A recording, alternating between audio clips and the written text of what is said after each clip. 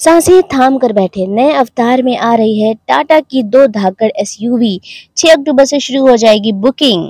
Company ने दोनों SUV के डिज़ाइन में बड़ा ही बदलाव किया है, जिससे दोनों गाड़ियों के नए मॉडल्स कंपनी के कॉन्सेप्ट एसयूवी कर्व के जैसे दिखने लगे हैं। इसके डिज़ाइन की बात करें तो नए एसयूवी कंपनी के नए डिज़ाइन लैंग्वेज पर आधारित है। कंपनी इनमें पहले की तरह स्प्लिट एलईडी हेडलाइट सेटअप का इस्तेमाल करने वाली है। कार में अब सामने की तरफ़ एलईडी बार लाइट मिलेगा, जिससे दोनों एसयूवी का लुक बेहद शानदार होगा। वही कार में मेन हेडलाइट सेटअप का वर्टिकल रखा गया है। हैरी और सफारी दोनों के डिज़ाइन में काफ़ी समानताएँ हैं, लेकिन सफारी के ग्रिल को कंपनी ने अप मार्केट फिट रखा है। ग्रिल का डिज़ाइन दोनों एसयूवी को अपनी अलग पहचान देता है। दोनों कारों को नए एलोवील के साथ भी पेश किया जा सकता है। वही कंपनी टेल लाइट सेटअप में भी कनेक्टेड एलईडी बार लाइट देकर इसे अपडेट किया जाएगा।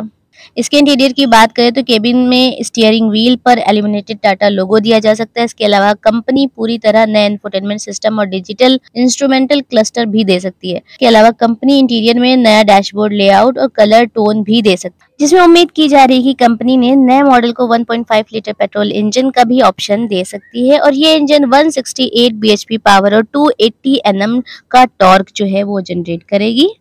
दोनों कारों की बुकिंग डीलरशिप और ऑनलाइन माध्यम से की जाएगी। हैरियर सफारी फेसलिफ्ट इस महीने यानी अक्टूबर के अंत तक लॉन्च हो सकती है।